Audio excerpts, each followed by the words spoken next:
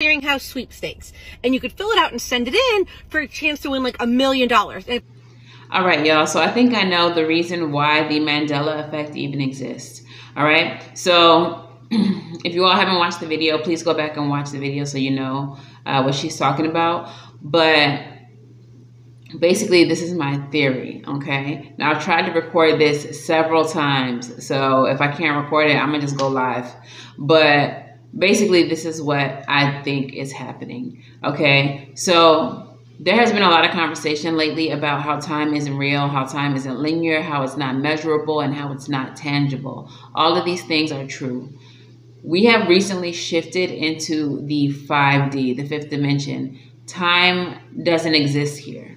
Okay, this is why the US can say that daylight saving time is going to be infinite. Like we're doing this forever now. Okay. This is why we can be in 2022 and they can be in uh, 2014 in Ethiopia. Okay. Because time is not real. Okay. A lot of the Mandelas that we are aware of have originated in the 80s and 90s. Okay. The monocle on the Monopoly Man. I remember him having it. A lot of us remember that he has a monocle. Google will tell you that it, he's never had one. It's never existed. Um, Shazam versus Kazam. One movie starred Shaq, the other one starred Sinbad. They were both genies. They will try to tell you that only uh, Kazam exists and that Shazam, that's, you know, Mandela effect. That's fake news. It existed. The reason why some of us remember these things is because each time a new dimension uh, presented itself, we created a new timeline. And some of us, our consciousness ascended as we moved into the 5D.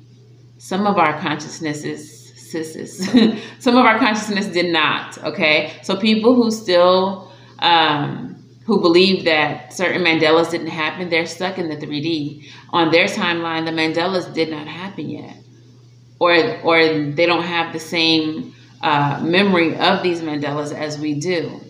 In the 5D, on that level of consciousness, we can remember and recall the things that have happened in the 4D and in the 3D.